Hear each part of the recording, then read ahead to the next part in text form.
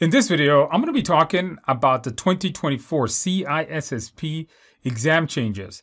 I'm Andrew Ramdial. I'm one of the instructors here for the CISSP at the Technical Institute of America, where we do a lot of live training, an e-learning course that comes with it, and a whole bunch of practice questions. Join us if you want to pass your exam. Let's get started. So I've been teaching CISSP since about 2006, 2005, and every three to four years, there's always a new CISSP exam. Now, I want you guys to point out, I, I, want you guys to know something, that this exam changes starts on April 15th, forgot to say this, April 15th, 2024. So if you're taking your exam before that, it's probably not gonna, probably not gonna affect you. But if you're taking it after this, obviously this will affect you. So like I said, every three to four years, you get a new CISSP. So there was one in 2018 that came out, there was one in 2021, and now here we go with 2024. Seems like they're good on this three-year cycle. Now, from my experience of teaching this, anytime they change the exam, you're not going to get a drastic change. You're not going to remove like 50% of the content and add more stuff in. In fact, in my experience, they just kept adding in and they don't really remove much.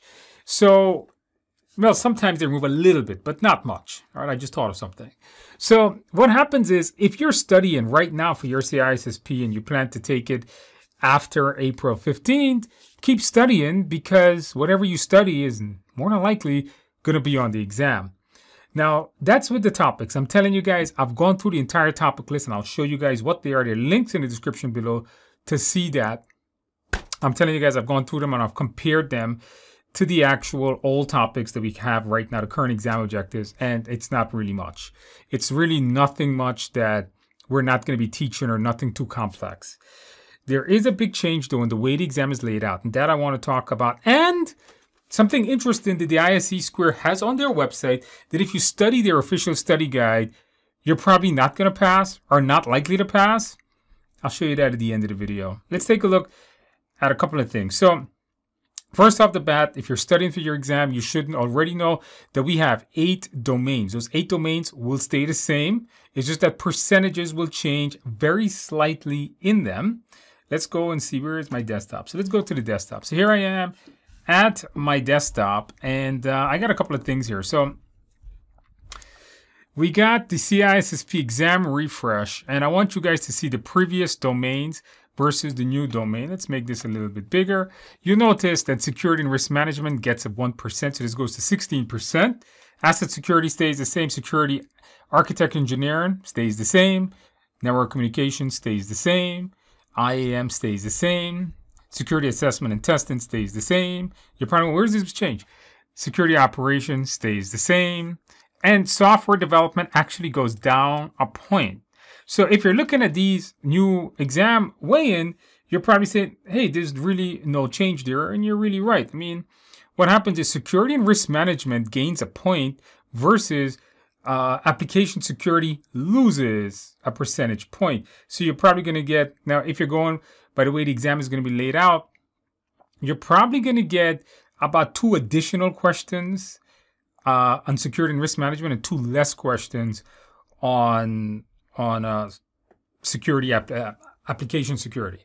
So that's really what that is. It's not much of a big change in terms of what's going to be in the domains. The domain topics also remains pretty much the same. What they did change though is the layouts, the format of the exam. And that I, that, that I want to show you. So a couple things. You Here I have the, this was effective May 1st, 2021. By the way, links, everything in the description. This is the CISSP certification exam summary. This is the current exam that came out in 2021. And this exam, if you notice, is a four-hour test. It is a computer adaptive test, which means you're going to, depending on how you're answering those questions, you're going to get more or less questions. At a minimum, you're going to get 125 up to 175 questions. You got to score 70% to pass. You're going to have multiple choice. And this thing called advanced innovative items. No one really knows what that is, by the way. It's just, the questions are really worded, really weird. Again, watch my video on the hard CISSP to see that. So in the current exam, as I make this video, it's a four hour, 125 to 175 question exam. On the new exam, on this exam refresh, this will change. So if you're going to be taking this test afterwards, you are going to get the time limit will be a maximum of three hours. So now you can have a three hour exam. And you will see a minimum of 100 and a maximum 150. So they're reducing 25 questions off the exam and they're make they're making it one hour less. Now, for those of us that are CISSP historians, is that how you pronounce that word? For those of us that have been teaching this a long time and been been in this industry for quite a while, this was this was it before. Like in the when we used when the CAT exams first came out, it used to be uh, 100 to 150, and then they changed it to 125 to 175. So it's actually like going back.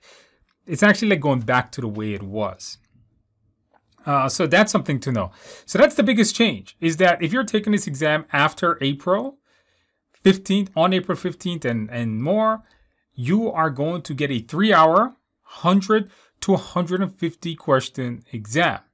Now, I want to talk about this because I was reading this page and something interesting came up. And uh, first of all, when you're studying for this exam, if you don't want to join me in the live class because I'm too expensive or something, uh, if you want to join my live class, absolutely great. But if you don't and you want to do some self studying, you the book I recommend, and I think the book everyone recommends, is the official study guide by Mike Chapple. Great author. Love the guy. I don't know the guy, but he is an amazing author. Love love his materials. ISC Square has an interesting saying on their website. I mean, considering that the official study guide, if you don't know what I'm talking about, I'm talking about this guide here. This book. It's the number one best-selling book on Amazon for the CISSP, written by author Mike Chapple and the rest of these folks here.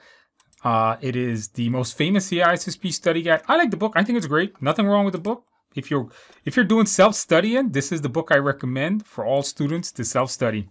So and, uh, you know, I want to point out that this is the official study guide. All right. This is the CISP. This is this notice has branded ISC Square on it. Now, I want to show you guys something that I found very interesting and what prompted me to make this video. Listen to this. Look at this question. If I've been studying for the CISSP exam material, let me make this bigger. The exam material that focuses on domains, will I be sufficiently prepared to take the new exam without additional study materials? Without additional study. ISC square exams are, I can't pronounce this word, experiment, no, experiential. Just say it's based on experience and include experience based questions that cannot be learned by studying alone. All right, so that cannot be learned by studying alone. So are they saying that if you study their own study guide, you're going to fail? Is that what they're saying? Notice this cannot be learned by studying alone. And the answer is they're absolutely right. Uh, if you're new to this game of CISSP, I've always said this. You hear me say this in the previous video, or if you're if you're one of my students, I've told you this repeatedly. You cannot pass the CISSP exam with just knowing what's in any book, whether it's the Mike Chapple book, Shon Harris has a great study one of the best ones out there also. It doesn't matter what study guide you're using. It doesn't matter whether you're just Wikipedia everything or chat GPT it or whatever you're doing. You cannot pass the CISSP exam with just knowing the material. You have to know how to think. You have to know the CISSP mindset. That's why you notice they tell you it's really based, I'm not going to pronounce this word again. It's really based on experience, right? It's experience based question. It's not just knowledge based question. And this is the first time I've really read anything on their website that actually says this. That is based on, it's more based on experience. But here's the interesting part it's not based on your experience. In fact, the more, this is going to sound crazy. I'm telling you guys, you're going to hate me for this. Don't thumbs down the video. By the way, if you're finding value in this, give the video a like. Um, it's not based on your experience. It's based on the uh, what the experience ISC Square One should have and the what they consider the best practices of security. So if you don't have that right quote unquote CISSP mindset, the ISC Square mindset, your chance of passing is very low. In fact, I've had students that have came to me that have self-studied for months on end knows the book inside out and they failed the test miserably. Then they come to me and I start teaching them, and then I come to realize why they failed the test. They just don't have the right mindset. They keep th- they keep thinking incorrectly in order to pass. So you got to have the right mindset. Now I do review a lot of the mindset in this the previous video I did with the 50 hard questions.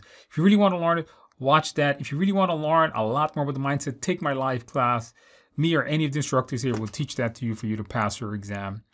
And with that, I wish you guys the absolute best of luck. If you're taking this exam, just to do a quick recap, if you're taking this exam uh, after April 15, 2024, okay, it's going to be a, the test will be shorter. It will be, instead of four hours, it'll be three hours. You're going to have 100 to 150 questions versus right now 125 to 175. But again, they take one hour off your exam. It's still a computer adaptive test. Uh, and all, and it's still a test based on experience. All right, it's still a test that you have to know the knowledge going in. That's what comes in the book, and you have to have the right mindset to pass the exam. Guys, if you guys found value in this video, please give the video a like, subscribe to the channel. I'll see you in the next video.